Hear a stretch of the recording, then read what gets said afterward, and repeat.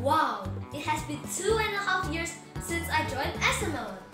And honestly, over the years, I felt that I had improved a lot.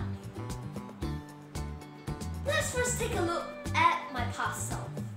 The old Richmond will always avoid eye contact whenever possible. When I was talking to someone, I'll always look somewhere else instead of looking directly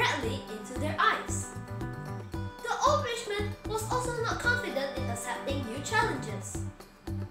I remember that I almost cancelled joining SMLONE because a friend told me that SMLONE wasn't fun at all.